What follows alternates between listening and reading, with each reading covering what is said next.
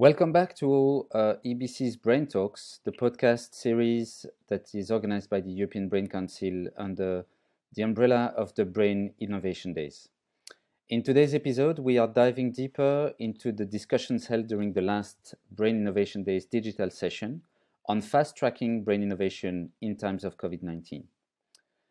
This session took a different look at the ongoing pandemic, attempting a positive spin on impact seen by COVID 19 particularly within the innovation space. We explored the positive direct and indirect results of the pandemic response and increased research on the brain innovation ecosystem. What lessons can be learned, what advancements have been made, and what trust lay ahead.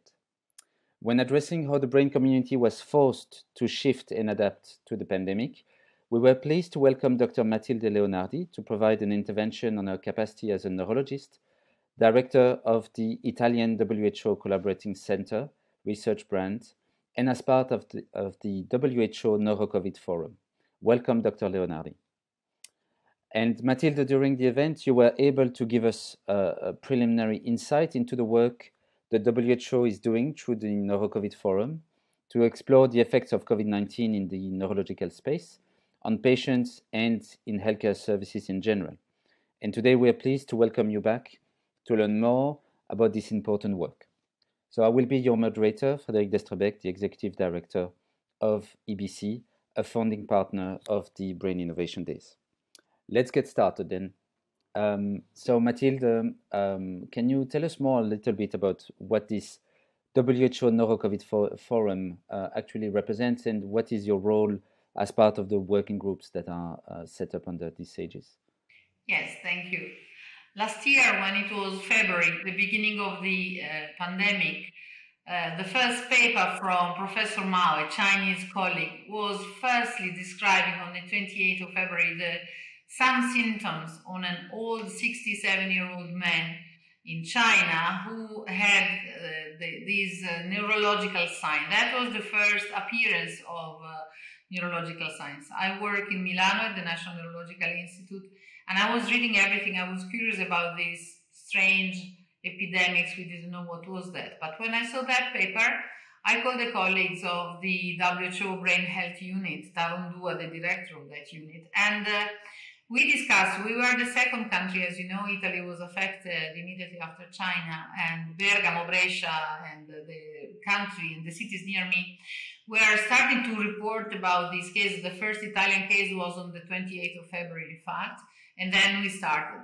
And then uh, when we spoke with the WHO unit, it was clear that this virus was presenting not only respiratory symptoms, but other symptoms that were not clear at that moment. And we started to uh, go in deep. And immediately, my colleague from Brescia, Professor Padovani, with whom I moved because I was seconded there for some months, we were registering uh, neurological cases and we were reporting them to WHO. It was not easy to get information from China at that moment, so we were mostly providing. Immediately after, in the 15, 20 days after the beginning of Italian reporting, of course, also the French, the Spanish, and then the British were starting to report. And more and more, the time was passing, more and more neurological symptoms were clear. It was then that the WHO brain unit was calling neurologists from the WHO centers, collaborating centers, and from other centers to please report to the WHO what was happening because this was not clear and most of the governments were discussing about the respiratory symptoms. So neurological were not at the center of the stage. But it was clear after one month that neurology was very much involved, not necessarily the brain, but there was a series of symptoms that were very much connected. And it was in that moment that WHO decided to convene this uh, NeuroCovid forum, meaning that we are now, uh, since uh, uh March 2020, 85 neurologists from all over the world, many of us working in the WHO centers, but also others that are key leaders in uh, their own country for the neurological observation what is happening. We were divided in four groups. One was dealing with the acute symptoms, one was dealing with the epidemiology, and one was dealing with the uh, long term, which is something that uh, came very much after because we started to have that let's say, discussing more closely about October. And I was nominated together with a colleague from Tunisia, uh, Professor Chahnez, that is the director of the Child Neurology Clinic in um, Tunis. We were uh, elected, we were nominated chairs of the um, Neurological Disruption and Mitigation Services uh, Evaluation. Uh, with my group. So we are members of all the four groups, but each of us has specific responsibilities. With our group, uh, which is composed of neurologists from Russia, Argentina, Brazil, India, and uh, South Africa and uh, Morocco, as well as uh, Germany and UK, uh, meaning it's a group that is reporting and the different moments of this incredible year has been also facing us with reporting, direct reporting of the colleagues that were observing what was happening in their own countries. So it was, we meet twice per week since March last year. So we have, uh, every group is meeting alone and then the four groups meet every two weeks. So we have a live reporting of the neurological situation in the world every week. And uh, what was striking us that at the beginning, the WHO was, for example, doing some pulse survey, meaning very quickly survey about uh, the service disruption. The first one was done in June 2020, and it was in general. It was not concentrated at all on the neurological services. There was not a word about what was happening to neurological services, despite Chronic patients in the world are mostly neurological patients, and the burden of disease tells us this. So we were looking at this WHO report, and we were saying, but where is the neurological services? We have uh, the acute care, the neurological, chronic care, the rehabilitation. All of that was, in a sense, very much shaded, faded in the report. So the Division of Mental Health uh, decided to call all the regional and the uh, country advisor asking about a survey of mental, neurological, and substance abuse disorders. This came out in August 2020. But also there, there was an issue for neurology because most of the advisors at country level, they were reporting about mental health. And as you know, mental health services uh, present very different characteristics because they're dealing with uh, psychiatric patients. They have a different type of uh, uh, organization and also the substance abuse. They were not matching with the need for neurological patients. So that was the reason why with the uh, survey group and with the Shan and with all our team, we decided to go on and do two things. The first was a literature review, what was published in the world, and uh, then we started to do that uh, because also then the second report of the WHO Pulse survey came out in October, uh, taking some inputs from uh our group, meaning that we were able to know in October that in the global, let's say WHO, that neuros- acute neurosurgery was affected and many services were moving from like in a spoke and hub system so that they were concentrating neurosurgery uh, somewhere. Um, most of the essential services were not disrupted. The acute care was not really disrupted, but there was no news about what is happening to the chronic neurological patients and what is happening to the patients that are developing neurological symptoms due to COVID. That was like a gray fog. There was no news in October.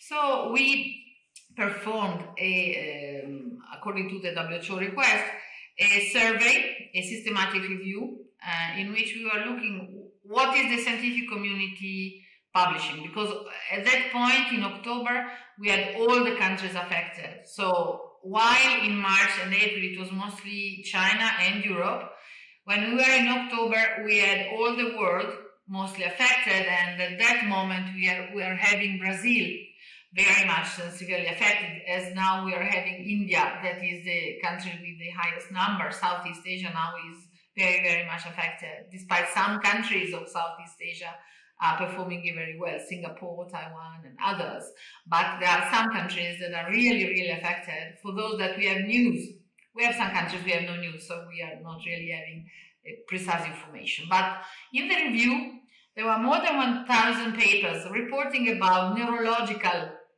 problems. But these papers were mostly written by uh, scientific community. So it was like doctors or university people or researchers reporting what was happening to them. We were completely missing like a governmental perspective of what was happening to neurological. And we thought, well, in a sense, it's a bit different. Also because since uh, the beginning of the pandemics, Patients Neurological Association were very, very, very alarmed and preoccupied. Why this? For several reasons. At the beginning of the pandemic in many countries, and I would like to say also in countries like European countries and US, the lack of uh, emergency uh, mm, device for respiratory was making a sort of complete discrimination. That might not have been true for many countries, but at the beginning, the impression was that as there are not so many respiratory issues for all, then those who already have a, pre-existing health condition will not be uh, put at first if we do not have enough respiratory uh, device for all. This created an enormous alarm. And in June 2020, the EFNA, the European Federation of Neurological Association, together with the European Chronic Disease Alliance, were launching incredible alarms from the patient perspective. They were saying nobody's listening to us. We cannot be discriminated because of having a neurological condition, because this will make us like a class B category of patient compared to the others. So we were having the patients that were screaming out that they were discriminated, and we were having the government who were not reporting about neurological situation. And this was around October, November 2020. And the scientific community was reporting about disruption and mitigation from the doctors or nurses or specialist perspective, which is not necessarily the full picture, but it was another angle. So we have the governments, we have the patients, and then we have the scientific community. And in the three areas, in any case, we have the shouting of patients. They were very much scared. In some, uh, I am sorry to say this, but in some uh, U.S. states, some government governors were even saying that if you have a disease, for example, like autism, which is not neurological, but uh, disease or other disease, you are not, you will not be given any respiratory uh, support. And this was written in some uh, US states upfront. This was creating, and for me, working for the last 20 years on human rights issues related to, to patients and access and equality and uh, fighting inequality, uh, it was like opening doors that we were not expecting that drain needed to be opened again. So that shout of patients could not be left alone. And the WHO has been listening to that, and particularly, I would say, European Federation of Neurological Association, which is the only in the world. Uh, the, there's no other, uh, let's say, regional like US uh, patients association. So EFNA so far is one of the broadest and most powerful voice because it groups uh, the largest number of neurological patients association. They were so worried. They were writing to everybody. They were writing to WHO. And within the Federation of Neurological Associations, some patients group were even more scared than others. We were receiving incredible letters from uh, family members who were saying, what do I do if my husband who has Parkinson is going to get the disease. We were receiving breaking into tears letters from uh, presidents of patients associations saying we are unable to reassure our patient. And in this sense, it was like, okay, there was the emergency going and the governments were doing their best because this was unknown for everybody. But on the other hand, it was like, where is all these patients? To whom do they speak? So, for example, the neuro-oncological patients in most of the countries of the world, they were kept the oncological treatment. So they were rearranged the way in which the drugs were provided. And I have also to distinguish the first wave and the second wave. The first wave was when everything came, so let's say from February to May, most of the countries had the first wave, to which we were completely unprepared. Um, and I would say there that uh, the European Academy of Neurology and the World Federation of Neurology, particularly the European Academy of Neurology, because Europe was first touched before the rest of the world. So the European Academy of Neurology, by pressure of groups like the one led by Ettore Beghi, who is Italian, because we were having this, so we were pushing and pushing because we were needing answers from the international community and uh, so the European Academy of Neurology made a large European survey what's happening. That was May, June 2020. So we were having some feedback from neurologists. Um, but there was a lack of communication on what to do. Uh, May 2020, the American Academy of Neurology made a very intelligent uh, tool. They um, made the online neurological examination. They were providing how to do the online neurological examination. So that was something that everybody started to use because the online was coming as a solution from the beginning to replace the face-to-face visits. But of course, this could not work all over. When we were doing the first review about service disruption, majority of papers were published uh, Italy, Spain, UK, US. These were the four countries out of the 1,100 papers that we found in the systematic review that were publishing. We were, of course, missing majority of the world. So this was not giving us a real idea of service disruption because these countries are countries in high income countries level where the neurological services are in place. I mean, the, so you can disrupt something that is already there. As a group of the WHO forum, we were interested to know what is happening in the remaining two thirds of the world where neurological services were not so much in place even before the COVID. This is why, together with the European Federation of Neurological Association, we put up a survey, a global survey on uh, the disruption and mitigation of services. What we did is that we identified all the uh, international organizations that are in official relationship with WHO, and we looked for all the others. We came out with 40 international global uh, neurological organization. So is the International League Against Epilepsy. So we took scientific and patients global, and we came up with 40 uh, association. We called all the presidents and we told them we need to have pictures. Governments have no idea how to do things for neurological patients. Because at the governmental level, the advisor of the WHO are for the 90% mental health people. So they don't advise for neurological uh, services, they were advising about mental health services, which then was leaving the neurological information completely unknown to governments. So what we did is we call these presidents and we say, okay, we do a survey and we want this survey bottom up. So you please ask the presidents of your association to respond from the neurological, the child neurology, the neurorehabilitation, the neurosurgery, the neurophysiology, the neuroradiology perspective. What is happening from a bottom-up approach to the neurological services? So we sent out the survey we had 120 reply from presidents of national association, which brought up to have uh, 53 countries from all the WHO regions. So it's not the 190, however, it's already enough to have an idea what happened. And we were then confronting what the scientific review was telling us to what the, uh, let's say, the, the, the ground is reporting. And um, in this ground reporting, 40% of response were coming from International Patients Association. And I think uh, it's important because this is complementing the scientific review in which we had no patients association voice. Because of course, in the scientific literature, you usually have doctors or uh, researchers who publish.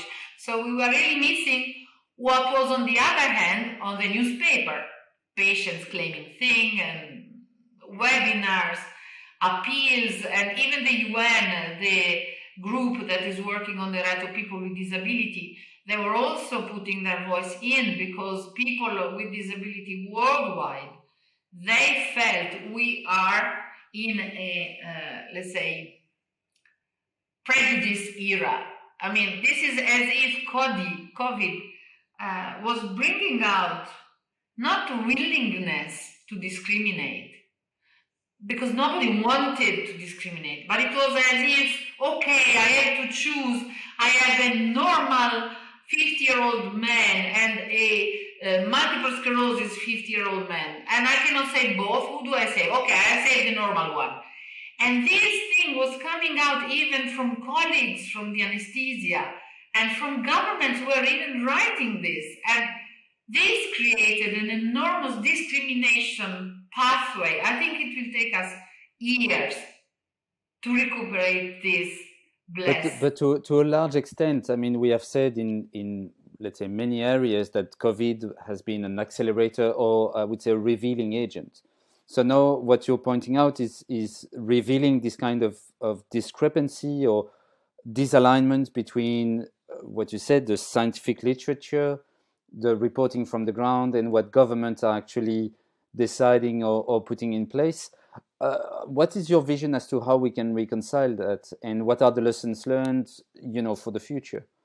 Okay, were reported and they're published on the Journal of Neurology. Um, we have to say that where you did not have services before, of course, the COVID did not help. One of the most disrupted age group were children with neurological disorders because they had two burdens. Children with neurological disorders, because of the lockdowns in many, many countries, they stopped to go to school and they stopped to receive rehabilitation. Rehabilitation has been one of the most affected issues, and for many of our neurological patients, rehabilitation is really very, very important. So while drugs might have continued to go, rehabilitation was very much disrupted, as well as all the outpatient encounters. In many, many countries, they were interrupted, so many people were jumping their controls on other things. Only the essential drugs were kept. And um, telemedicine became uh, one of the answers that was put in place, but almost 90% of the governments, they were saying that the response to the needs of patients was telemedicine forgetting that most of our patients are quite in the aging group. So if we think Parkinson and Alzheimer, so the, digi- the digital divide was a new form of, of discrimination. So how to adapt to this adaptation that telemedicine yeah. became. So. so. that was one point. And the second, yeah. it was also that in many countries, two thirds of the countries, the web is not really so much working. I just give you a small example. I was working, I mentioned my co-chair is Chahnez from Tunisia. She's a child a neurologist professor. And she was telling us that most of the mothers with children with neurological disabilities who are needing rehabilitation, they were doing tele-rehabilitation, but they don't have internet at home. So they were going to the supermarket where they have Wi-Fi, free Wi-Fi.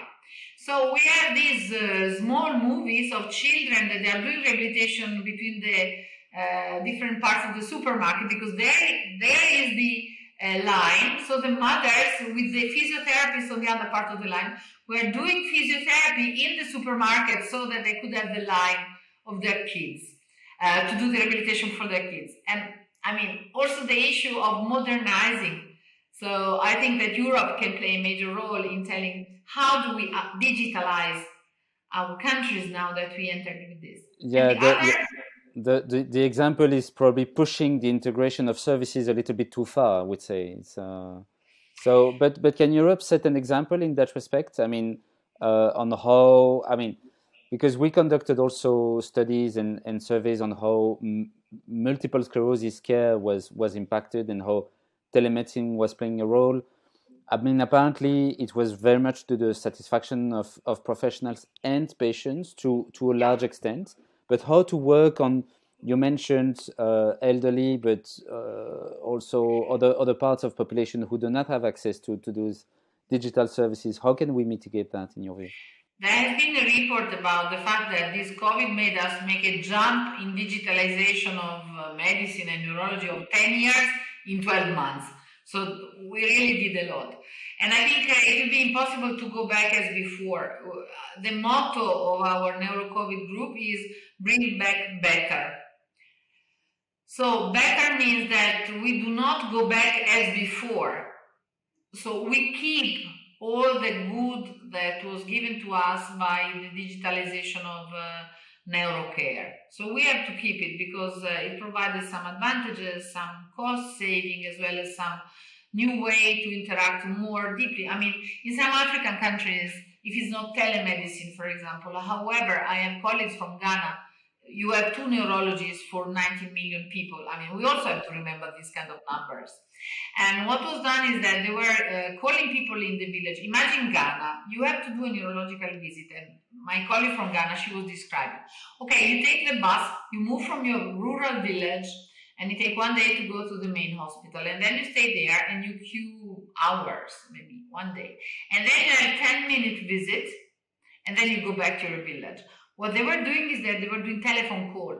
And patients in some rural areas of Ghana, they were so happy. They didn't have to move. They were just having the call of the neurologist who were discussing with them the therapy. So I'm not saying that you have to go back to this. But certainly WHO is also now thinking that some of the things that came out should be kept to disseminate the neurological culture more because we have this opportunity. On the other hand, what came out very clearly is that, and this came out from the survey, 90% of the scientific and patients organization were not consulted by their own governments on what to do for uh, neurological patients, adults and children uh, in the emergency phase, and how would have been better to put in the guidelines, in the national guidelines, information for this large amount of patients. So one of the indications that I would take is that neurological association have to learn on how to deal uh, with politicians and how to make their voice to be heard. I mean, you can speak, but if you don't know the language of politics, nobody will listen to you. I think that EBC this, I think EBC knows this very, very well. So you No, but I, I wanted to ask you, you know, how basically this phase of, of disruption that we know uh, with with COVID for more than a year now, how does that did that impact, uh, let's say, the, the the strain of work of the WHO on um, well neurological disorders, and obviously there is no this this proposal for the global action plan on epilepsy and other neurological conditions. So how does this these learnings from from your work on the impact of COVID nineteen can actually nurture, um, let's say the, the the mainstream work that that was already engaged before before COVID even erupted? But two things came out very clear. Uh, some of the disruption were not only related to the health services. For example, one of the things that was touching our patient was that transportation to health was disrupted because in many countries transportation was closed, so people could not reach. So, in a sense, it is as if the care of the patient is not only of the carers. So, health is not just for ministries of health. This came out very clear, and this will go in the discussion in the uh, Global Action Plan uh, resolution. So, health is not something just for health workers. Health is a good for a country they should be preserved, putting in putting the strength of all those who can work on health. And I think we in the neurological world, and I think this will go, we can work together. I mean, the issue that is now part of the debate of one neurology, putting together all those who are working in neurology into one voice. It is good, although it is difficult because every single disease might have its own specific needs and its own specific requests. However, at the political level, at the global level, what should come out and what should be in the resolution and what should be done by scientific and data organization of neurological patients is that you need to, to understand what are the main needs for patients. Continuity of care, for example. It is something that came out very clearly for us. And uh, that should be kept in all the countries, but also rehabilitation. Rehabilitation is neurorehabilitation. I mean, imagine stroke, imagine all the diseases that need rehabilitation. Rehabilitation was the most affected services that was affected everywhere because of people could not have contact with rehabilitation. So it was very good that, for example, multiple sclerosis, which is one of the most active at global level, particularly in many of the uh, Western uh, high income countries, uh, was already, I mean, many university and many patients organizations were already ready with the digitalization of the intervention.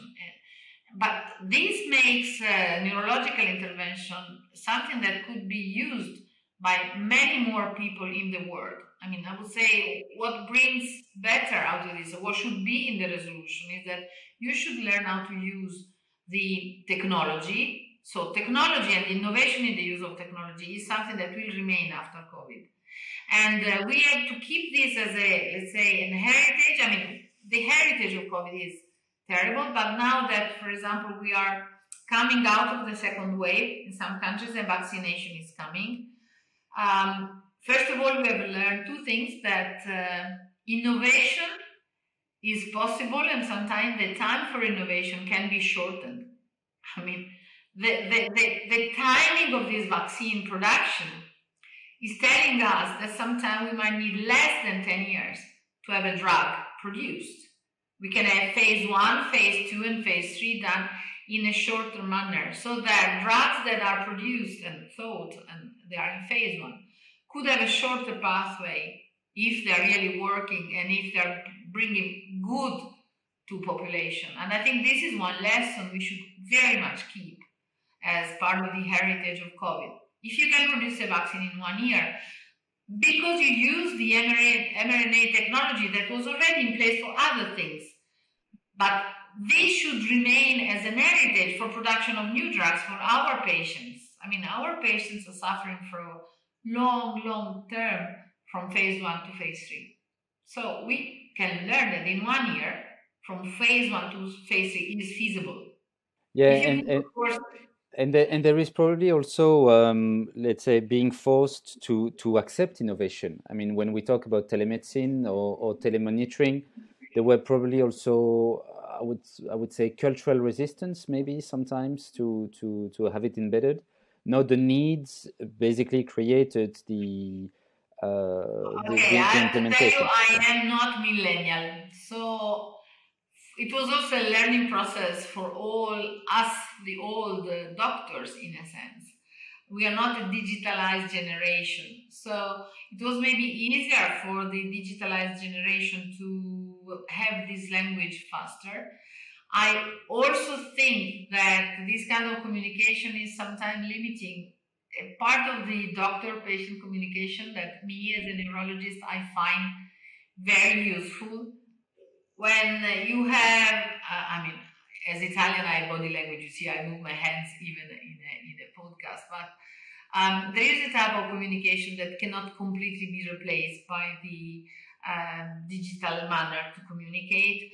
And it is when you need some empathy beyond the screen.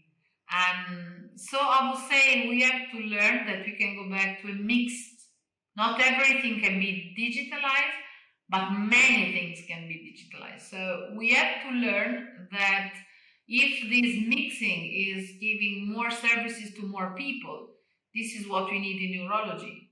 Most of the countries, imagine India. I mean, I'm following the Indian situation now. Okay, yesterday we had this conference with the Indian.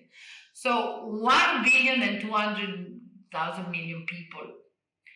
And we were discussing how do we reach neurological patients in the villages. This was discussion with Professor Prasad He's member of All India uh, Science Council in India. And he was telling we need something to explain to people what they have to do uh, if they have some, not only COVID symptoms, but neurological symptoms. If you have some neurological symptoms, and once we learn to reach villages because of COVID, why should we stop once COVID is finished to reach villages for providing care? So that, that was discussion we had yesterday. Because if we are able, because of COVID, to open pathway to the remote and rural areas of India, why this should stop once the COVID will gone? And I hope it will be gone soon, but it will take time. No, exactly, exactly. And how then to compensate uh, from your example in India or in Ghana, let's say a greater availability or, or facilitated access to, to, to services or to care by the patients, but at the same time that we can keep uh, this uh, let's say empathy and direct contact um, in in the doctor to patient relationship is indeed yeah. Matilde. I, I, think we, we are reaching the end uh, of this podcast, but I I wanted uh, maybe to, to to leave you an opportunity to say to say a last word and maybe uh, have a forward looking uh, consideration in in everything that we that we just discussed now. Yes, I think that we as neurologists have a role and uh, I think that uh, what came out is that despite the willingness, our patients risk to get discriminated. I think we have a role to have the voice in avoiding this and to do our best because uh, we are a community. This came out from COVID. So, and this comes out from my work every day with the WHO. I work in Italy, but I am part of the large family of people working with brain disorders, and we have a role. And uh, everybody needs a small uh, chat, can do something. I believe this, and I thank you EBC for this because you are giving voice to many things, and you're bringing innovation into the voice. So we are a community together. Everybody needs own computer, but everybody in his own computer all together, we are many, many voices. I think that we can play a role, and neurology should play a role because we have so many patients that need our voices. So that's my message. Thank you very much, Matilde, for this, um, well, for your time and, and for this insight into the global efforts in addressing and understanding the impact of uh, COVID 19 on the brain, on brain disorders, and uh, people living with these conditions.